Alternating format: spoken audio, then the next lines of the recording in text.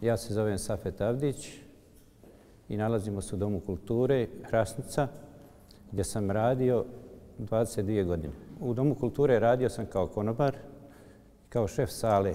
Sjećam se ovaj svih tih lijepih trenutaka u mom poslu gdje se održavale razne manifestacije. Svaku večer je bila muzika. Ljudi su bili sretni, zadovoljni, bili su svi zaposleni. Ovo je bio jedan od najvećih domova kulture u bivšoj Jugoslaviji gdje se ovaj, od, od, svaku večer u restoranu koji je imao 450 mjesta bila je živa muzika. Preko puta je bio kinosala od 400 mjesta.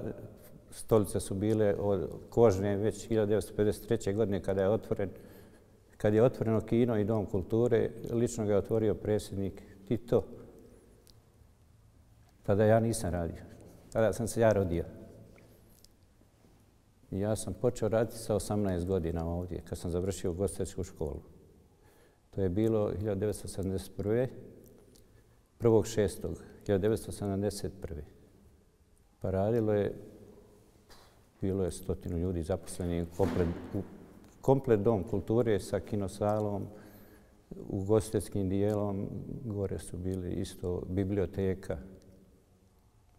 Pa bilo je, vidite, od, od raznih e, muzičkih ovaj, događaja u kinosali, gostovanja poznatih pjevača, bilo je promocija filmova, sjećam se promocije filma Emira Kusturice, sjećaš se Doli Bell, zatim onaj, ovaj, Otac na službenom putu, također je bila promocija ovdje, a se isto svaku večer se održavalo kino u, u dvije smjene.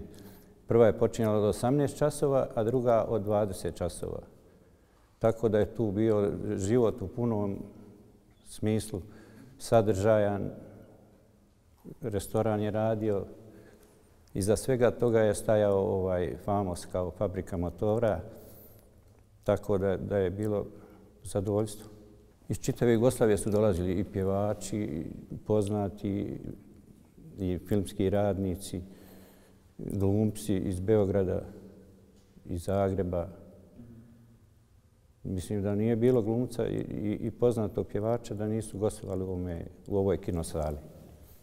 Mislim da je najupečetljivije bilo ovaj otvaranje olimpijskih igara u Sarajevu, gdje je pristovao lično onaj Juan Antonio Samaran sa brojnim svojim uzvanicima, oni i, i poznatim ličnostima iz Jugoslavije. Tako da je u to vrijeme bila promocija od slika, famosove, promocija famosovih proizvoda i drugih proizvoda.